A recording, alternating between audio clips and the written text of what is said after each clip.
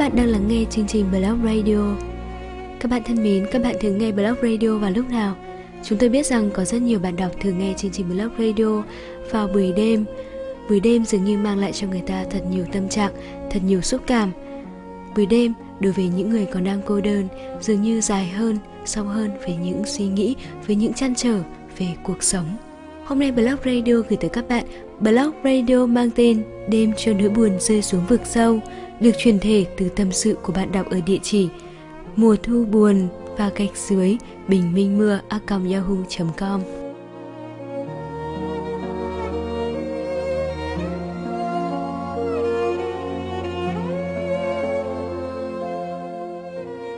Đêm, cho nỗi buồn rơi xuống vực sâu.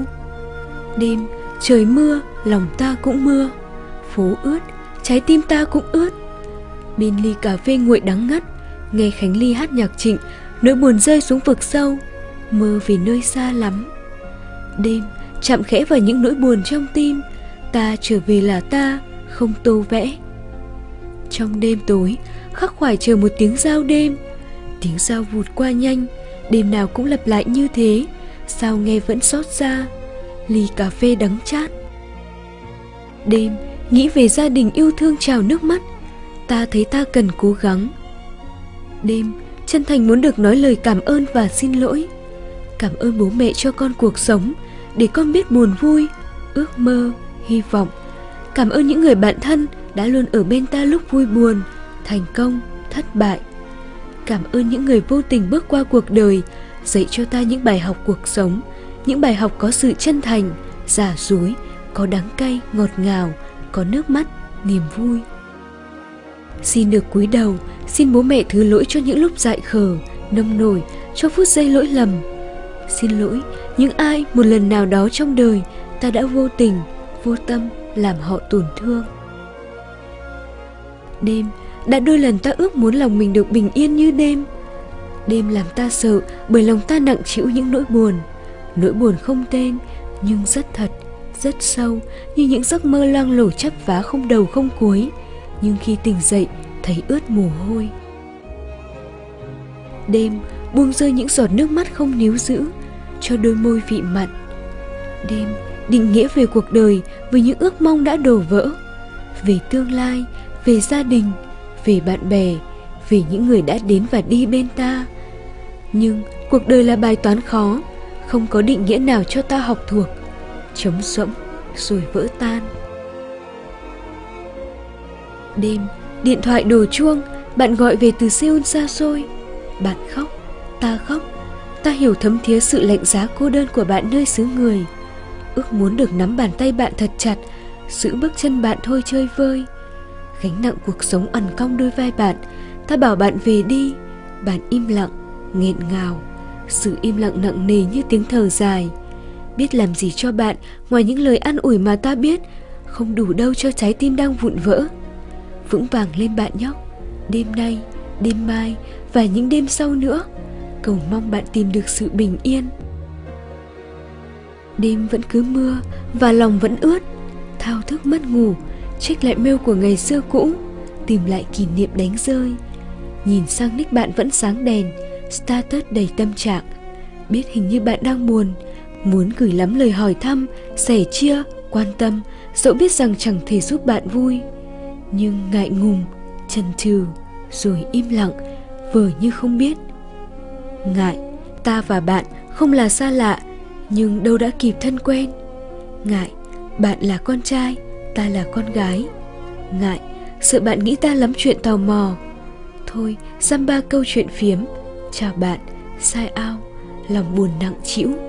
Ta đã sống vô tâm thở ơ như thế. Đêm những tin nhắn gửi đi không được hồi âm. Ta buồn, vì sao vậy? Ta không biết. Ta hiểu rất rõ, không nên buồn đâu vì một người bạn như thế. Bạn không trân trọng tình bạn của ta, thì thôi nhé ta không đủ kiên trì nữa rồi.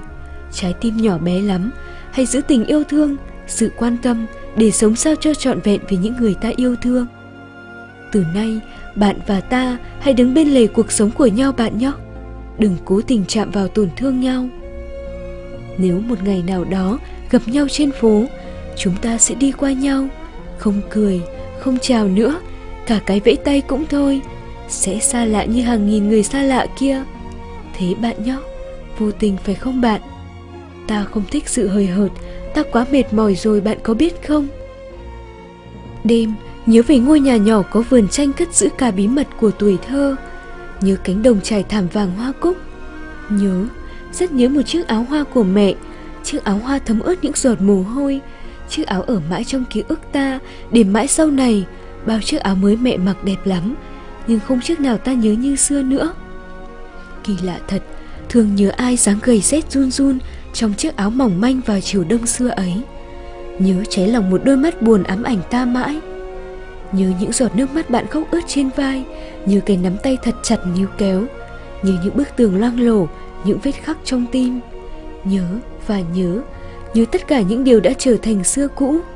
Hai ba năm đã đi qua trong cuộc đời, có bao nhiêu điều để nhớ, bao điều đã tự nhủ lòng để không bao giờ được quên nhưng ta đã sống vô tâm nên vô tình đánh rơi rớt dần từng kỷ niệm lúc nào không biết nuối tiếc xót xa đêm yên lặng mơ được trở về tuổi thơ. Tuổi thơ có riêng khoảng trời bình yên rộng lớn có nụ cười trong veo không vương chút bụi. Từ khi nào ta bỏ quên sự hồn nhiên ta trầm lặng cô độc ta gậm nhấm những tổn thương để lớn lên bước chân trông tranh giữa hai bờ buồn vui của cuộc sống. Hai năm trước anh bảo ta già quá con bé 21 tuổi chỉ thích nghe nhạc trịnh và nhạc buồn và ít khi nào anh thấy ta vui. Hai năm sau, con bé ấy bây giờ 23 tuổi. Anh không còn ở bên để nhìn con bé vẫn già như thế, chưa kịp đổi thay. Nếu ta không đi qua những ngày tháng đổ vỡ tâm hồn đó, thì bây giờ ta là ai? Ta có là ta yếu đuối thế này không? Câu trả lời là dấu chấm lặng.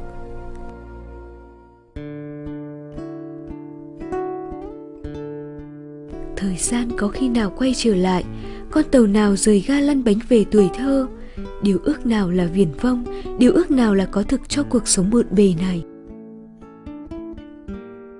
Đêm, ta thất vọng về ta. Bố dặn ta phải sống mạnh mẽ lên, không được yếu đuối, không được nhu nhược. Bố dạy ta bài học tự khẳng định mình. Nhưng bài học hàn gắn những vết thương. Bố đã quên không dạy. Mà sự thực, bố cũng không thể hiểu nổi, ta đã mang những tổn thương như thế. Bố lo lắng cho cuộc đời không bằng phẳng với những xô bổ bon chen phức tạp. Với giả dối sẽ xô bước chân ta vấp ngã. Những bài học cuộc đời bố dạy luôn luôn đúng. Và như thế, đã hơn một lần ta gồng mình để cố gắng trở thành một ai đó. Chơi vơi, hụt hẫng. Đêm, đi tìm định nghĩa về hạnh phúc. Hạnh phúc là thế nào?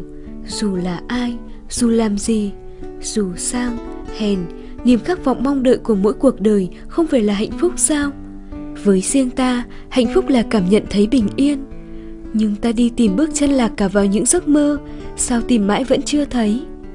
Những khoảng trống lấp mãi không đầy, có phải ta đã quá tham lam? Ta có gia đình yêu thương để trở về khi bước chân mỏi mệt trên đường đời rộng lớn? Ta có cuộc sống sung sướng theo một nghĩa nào đó? Nhưng tại sao? Ai đó đã nói rằng hạnh phúc là khi biết đủ, nhưng thế nào là đủ cho một kiếp người? Có ai định nghĩa được không? Đừng lấy hạnh phúc của người này làm thước đo hạnh phúc của người khác. Mọi sự so sánh trên đời đều là khập khiễng thôi. Nhớ tới lời anh nói, em hãy đứng lên bước đi gói những tổn thương bỏ lại phía sau. Đừng quay đầu nhìn lại, hãy bước thẳng về phía trước và hãy sống vô cảm một chút, em sẽ thấy bình yên. Ta tin, rất tin lời anh nói, nhưng chối bỏ con người cũ kỹ đầy khiếm khuyết, yếu đuối nhút nhát như bao năm qua ta có làm được không? Đêm, ta học cách buông tay về những thứ ta không thể có. Đã thôi làm đứa trẻ lên ba, khóc đòi bằng được những gì nó muốn. Ta thôi giữ những tổn thương, nước mắt về bạn để thấy ngạt thở. Ta đã nhặt hết những mảnh vỡ ghép lại một trái tim nguyên vẹn như ban đầu. Sáu năm đi bên lề cuộc sống của bạn. Sáu năm quá ngắn cho một đời người, nhưng đủ dài cho một trái tim vỡ vụn cảm nhận hết những nỗi đau. Sáu năm, ta đã nhìn bao lần bạn yêu và chia tay. Nhưng chưa bao giờ ta ước được trở thành người con gái nào đó trong cuộc sống của bạn. Tại sao? Ta cũng không biết. Ta không còn cố gắng quên bạn nữa. Ta đứng chơi vơi giữa hai bờ quên nhớ. Ta thả trôi cảm xúc của mình kệ cho bước chân thời gian khi nào sẽ đưa bạn bước ra khỏi trái tim ta. Nhưng bạn cảm thấy có lỗi với ta. Bạn thấy gánh nặng vì một con gái mãi dành tình cảm cho bạn. Vì thế, ta đã học cách để quên bạn. Bạn còn nhớ hay bạn đã quên bài hát vô tình, ta gửi cho bạn trong chiều mưa ấy. Cảm ơn mặt trời cho tôi một chiều. Cảm ơn cuộc đời cho tôi một người. Người bước vào đền cho tim ta im vắng. Rồi người cứ vô tình người đi, rồi người cứ vô tình người xa. Giữ sao được người đi qua cuộc đời, giữ sao được chiều đi qua mặt trời. Giữ sao được phải không? Những giọt nước mắt vỡ tan hòa vào lời bài hát, ra diết phải không bạn? Dù thời gian đã đi qua, dù trái tim ta đã không còn trôi về bạn nữa, ta vẫn tha thiết muốn nói với bạn. Cảm ơn một người đã cho tớ một lần biết yêu, dẫu cho tình yêu đó nhiều đắng cay và nước mắt, dẫu cho mọi nỗi tổn thương chỉ riêng trái tim tớ thôi. Nhưng tớ chưa bao giờ nối tiếc, tớ đã một lần dám sống trọn vẹn với con tim. Sống hạnh phúc bạn nhé. Đêm, nhớ về anh, ướt mi như những con đường chở nỗi buồn của chúng ta đã đi. Con đường ngày ấy bao giờ đã là con đường cũ? Quán xưa ấy cũng trở thành quán cũ. Kỷ niệm là kỷ niệm cũ. Và anh và em cũng đang là hai con người cũ. Tất cả đã cũ rồi, phải không anh? Ta nợ anh lời xin lỗi lặng câm nợ anh những email không trả lời. Nợ nụ cười, nợ niềm vui. Ta kể cho anh nghe câu chuyện trái tim bị ghép nhầm, rồi vỡ. Ta để anh ra đi như thế, bởi ta hiểu anh và ta chỉ là hai người vô tình đi qua cuộc đời nhau, không thể là một nửa của nhau. Và đâu đó, dưới bầu trời này, ta biết sẽ có người con gái đang đợi anh đến ghép nửa trái tim. Đêm nay, lần cuối cùng nghe niệm khúc cuối rồi thôi. Dù cho mưa, tôi xin đưa em đến cuối cuộc đời. Dù cho mây hay cho bão tố có kéo qua đây. Dù có gió có gió lạnh đầy, có tuyết bùn lầy. Dù sao dù sao đi nữa, tôi vẫn yêu em. Nghe bài hát cũ và khóc lần này nữa thôi, ta gửi lại nguyên vẹn bài hát cho anh nhé gửi cho cả người con gái sẽ đi bên anh đến hết cuộc đời này. Hà nội sắp vào đông, lạnh. Sài gòn không có mùa đông. Cảm ơn những bài học anh đã dạy. Cảm ơn bàn tay anh đã giúp bước chân em không vấp ngã. Cảm ơn và xin lỗi cho những điều đã qua. Đêm nuối tiếc ân hận cho những ngày tháng đã đi qua, ta đã sống hoài phí. Ta chưa bao giờ nỗ lực hết mình cho những ước mơ nên thất bại. Hòa khóc, bỗng nhớ về câu chuyện ngọn nến. Có cây nến nhỏ bị bỏ quên lâu ngày, nến đã nằm buồn bã cho từng ngày ảm đạm vô nghĩa dần qua. Cho đến một ngày, sự cố bất ngờ, căn nhà chủ mất điện, người ta chợt nhớ ra. Thật may mắn vì có một ngọn nến sót lại. Khi nến được thắp sáng lên, từng giọt sáp rơi xuống, nến mỏng manh tan dần tan dần chỉ còn ít phút nữa thôi nến sẽ tan biến vào không khí. Nhưng vào những giây phút cuối cùng của cuộc đời, nến tỏa sáng lung linh hơn bao giờ hết. Nến sống cuộc sống ngắn ngủi, nhưng nến đã sống được cuộc sống trọn vẹn và đốt cháy mình. Đó chỉ là câu chuyện ngày xưa anh kể. Khi ta buồn ta khóc, dằn vặt vì những thất bại. Khi ta đánh mất niềm tin vào bản thân, ước gì ta cũng dám một lần sống trọn vẹn như ngọn nến nhỏ nhoi kia đêm, đặt những nỗi buồn, những tổn thương, những gánh nặng trong lòng xuống. Òa khóc nức nở như đứa trẻ thơ.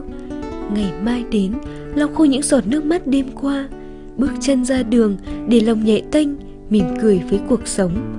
Học cách biết sống, biết yêu thương, chân thành. Đêm rất dài và rất sâu. Trong cuộc đời của mỗi con người, có biết bao đêm đi qua. Nhưng sau khi nhìn lại cuộc đời, thấy ngắn ngủi quá ta vẫn chẳng làm được gì, vẫn sống vô nghĩa như thế. Cuộc đời có bao lâu mà hững hờ? Thôi tự nhủ, cố gắng sống sao cho vẹn mỗi ngày. Ai cũng chỉ có một lần được sống. Một lần để ước mơ hy vọng, đừng để nuối tiếc và ân hận quá nhiều, đừng để phải cả cuộc đời nói giá như, nếu thì. Và như thế, đêm khép đôi mắt lại, một giấc ngủ chưa trọn vẹn. Nhưng đêm nay ta thấy bình thản hơn rất nhiều đêm. Một đêm buồn không ngủ.